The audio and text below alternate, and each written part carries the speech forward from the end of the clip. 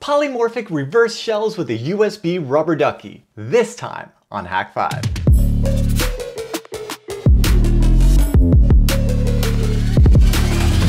For Hack 5, I'm Darren Kitchen taking a look at an awesome payload for the USB rubber ducky by one of my favorite developers. This is so cool, check this out. By Ofori, the reverse ducky polymorph payload. I'm here in Payload Hub checking it out. It says it's a TCP reverse shell executed in a hidden PowerShell, right? Using the magic of uh, Ducky Script 3.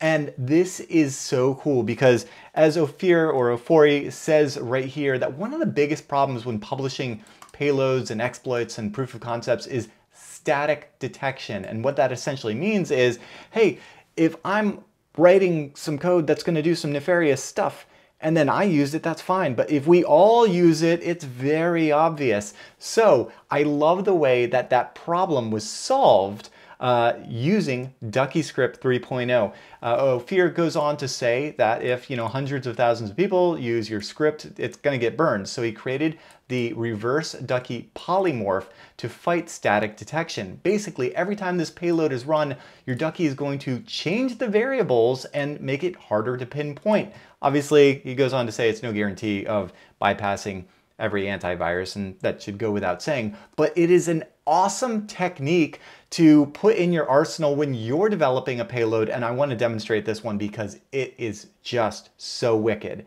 So I've gone ahead and already uh, popped it into my copy of Payload Studio. I'm using 1.3 for this demonstration.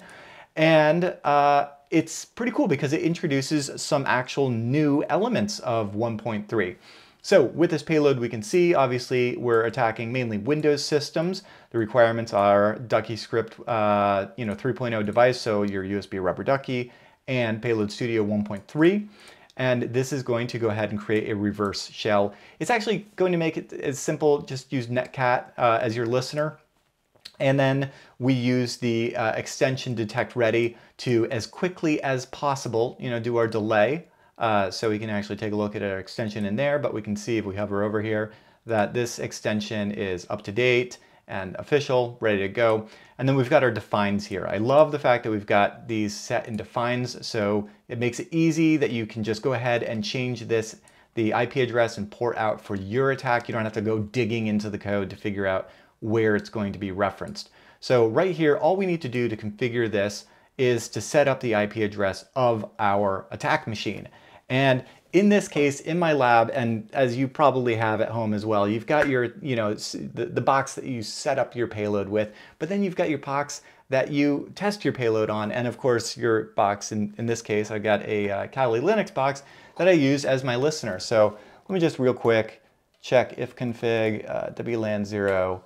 And yeah, so my IP address here on my uh, test network is 192.168.86.62. So I'm just going to go ahead and uh, come over here to my computer and set up that address in my payload. So 192.168.86.62.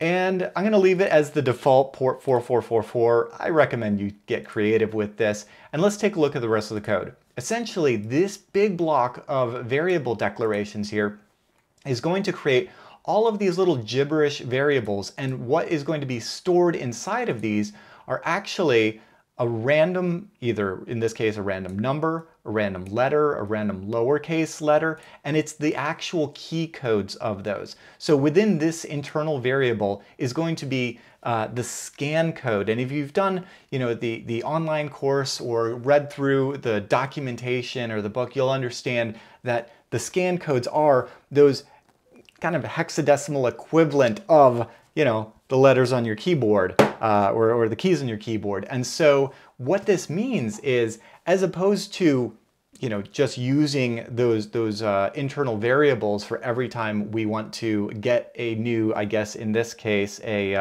uh, lower a random number key code, we're actually going to store it in this variable so that we always get the same one. Let me give you an example here. So let's just throw it in here and if say, if I do um, random underscore, I don't know, letter, right?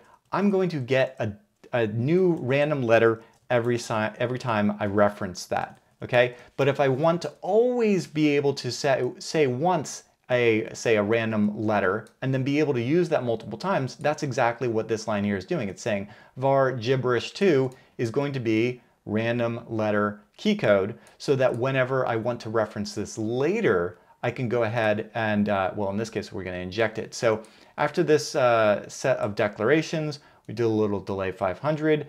GUI R, as we know and love, will pull up the Windows Run dialog, throw in a little PowerShell window hidden. So a lot of aliases being used here to keep things as short as possible. And so now you're gonna have to visualize this because actually with that windows hidden, we're not gonna be able to see this. So we might run this twice and see you know, what it looks like hidden and, and not hidden to the naked eye. But uh, what we're gonna be doing is injecting, hey, all right, the dollar sign. So we're declaring a variable in PowerShell. So dollar sign, and in this case, it's going to be those four variables that we set before. And as we know, each of these, so gibberish, gibberish 2, gibberish 3, gibberish 4, is going to be, in this case, a random number, a random uh, letter, a random lowercase letter, and then another random letter. And what that means is if I run this on my target, I'm going to get a unique uh, a unique four character variable. But if you run this with your USB rubber ducky, you're gonna get something different. Every single time we run this, we're gonna get something different. And if we continue to, to run through this, it's actually nicely commented. We can see how we're opening up different sockets and you know we're uh, creating streams and, and uh, all of the other fun stuff that this PowerShell does. Uh, and at the very end, uh, it's actually gonna go ahead and end the payload with a caps lock command. And the cool thing about that is we're going to be able to inject this on our target system. It's going to happen in a hidden PowerShell window, which is just mind blowing how that works. And then we're going to be able to glance at the keyboard and when the keyboard light, you know, for caps lock turns on, or I guess if it's already on, turns off, then we'll have confirmation that our payload has at least gotten to the end.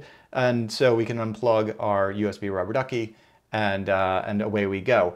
So um, you could also do the same thing with like LED underscore G to set the LED to green or whatever have you. Um, I, I might not on a real engagement keep this because you know your your target will have now have its caps lock key on, but whatever have you. Let's let's go ahead and get this uh, loaded up on our USB rubber ducky. So I've set the address. We're to leave port 4444, generate that payload, download, overwrite the existing inject.bin on my USB rubber ducky that's connected here in arming mode.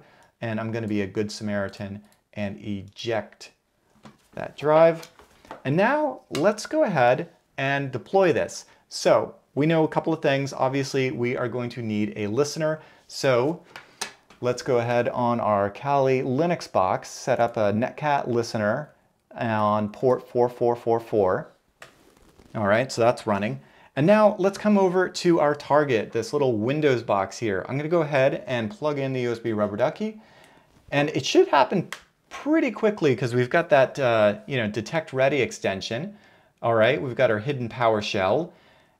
And honestly, outside the fact that I can tell you that the caps lock light is on, there's not really a lot of other indication. So that's probably why that's thrown in at the end of the payload.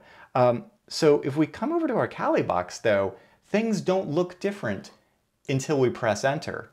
And now suddenly, what? I've got a shell on this box. Hang on, let's go to the desktop and dir. And okay, there's there's no files there. Uh, well, that makes sense. If we come over here and take a look at the desktop, I don't see any files. Let's uh, let's put a file on there. Echo foobar, and we're going to redirect that into I am inside your computer.txt. And now when I come over to the Windows box, oh my God, is that freaky or what? Actually, if I, I wonder if I can just go ahead and del uh, I am inside your computer.txt. I wonder if it updates live. And oh, deleted, gone. That was so cool. I absolutely love this. This is a brilliant example of using some obfuscation techniques in your payload. Not only are uh, is this using um, variables to create random characters that are going to be random for every single iteration or, or, or, or you know, uh, a deployment of this payload.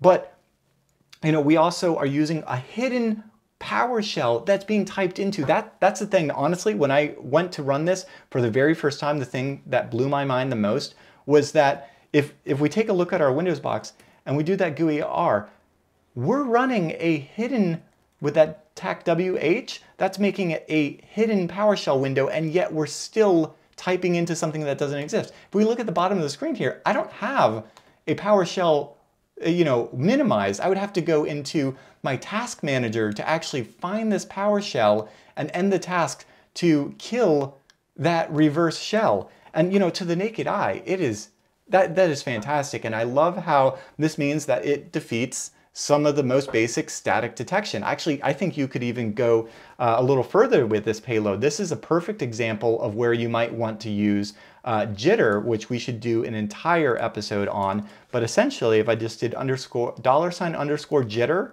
enabled, and then set that to true, we now have a payload where I guess you could say kind of the cadence of the keystrokes are going to have some more human-like variation between them than your typical, you know, machine-like, uh, you know, as fast as we can inject keystrokes.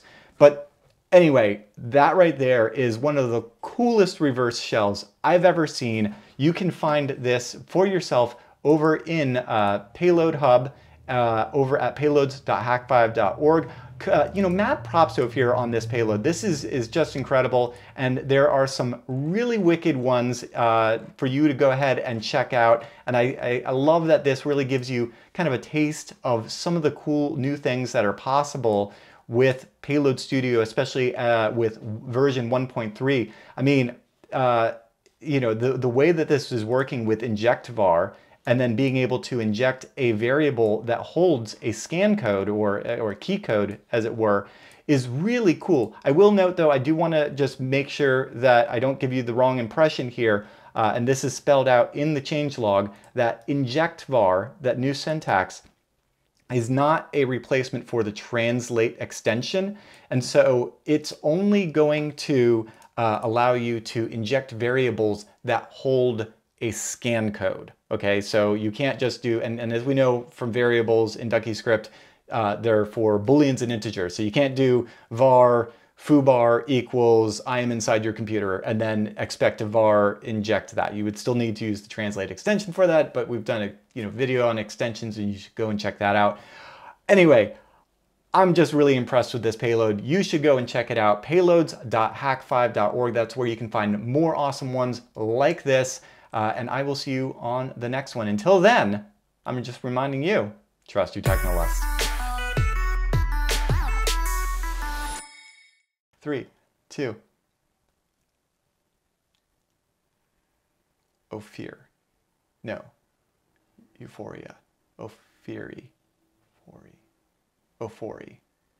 Yeah, Ophori. Thanks for supporting Hack 5. Find all our shows, community, and pentest products at hak5.org.